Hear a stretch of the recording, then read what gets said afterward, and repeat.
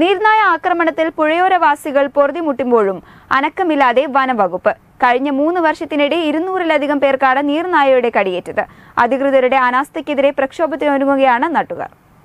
ഇരുവഴിഞ്ഞിപ്പുഴയിൽ അതിരൂക്ഷമായ നീർനായ ആക്രമണത്തിൽ ജനങ്ങൾ വലയുമ്പോഴും പ്രശ്നത്തിന് ശാശ്വത പരിഹാരം കാണാൻ വനംവകുപ്പിന് ഇതുവരെ സാധിച്ചിട്ടില്ല.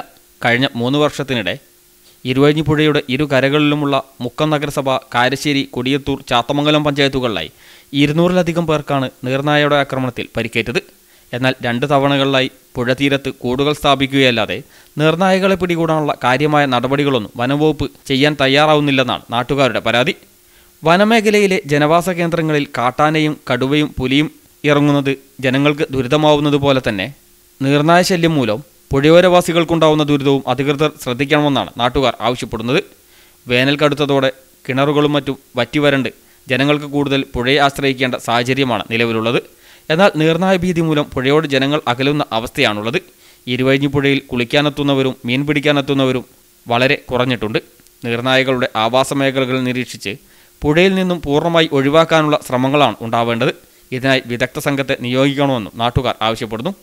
ഇതിനിടെ കഴിഞ്ഞ തിങ്കളാഴ്ച വെസ്റ്റ് കൊടിയത്തൂർ ഇടവഴിക്കടവിൽ രണ്ടു പേർക്ക് നീർനായയുടെ കടിയേറ്റിരുന്നു.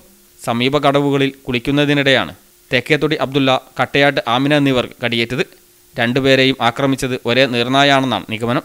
പരിക്കേറ്റ ഇവരെ കോഴിക്കോട് മെഡിക്കൽ കോളേജ് ആശുപത്രിയിൽ പ്രവേശിപ്പിച്ചു. പലപ്പോഴും ഒറ്റയ്ക്ക് കാണപ്പെടുന്ന നീർനായയാണ് ആക്രമിക്കുന്നതെന്ന് പുഴയോരവാസികൾ പറയുന്നു. വെള്ളത്തിനടിയിലൂടെ ഊളിയിട്ട് വരുന്നതിനാൽ ആക്രമണത്തിനെത്തുന്നത് കാണാൻ കഴിയുന്നില്ലെന്നും പരിക്കേറ്റവർ പറയുന്നു. ചെറിയ കുട്ടികളെ കാലിൽ കടിച്ച് വെള്ളത്തിലേക്ക് വലിച്ചീഴ്ച സംഭവവും ഉണ്ടായിട്ടുണ്ട്. ജനങ്ങളുടെ ജീവന് വരെ ഭീഷണിയായി സ്വൈര്യവിഹാരം നടത്തുന്ന നീർനായകളെ ഏതു വിധേനയും ഒഴിവാക്കാൻ അധികൃതർ തയ്യാറാവണമെന്നും അല്ലാത്തപക്ഷം ശക്തമായ പ്രക്ഷോഭത്തിന് നേതൃത്വം നൽകുമെന്നും നാട്ടുകാർ പറയുന്നു.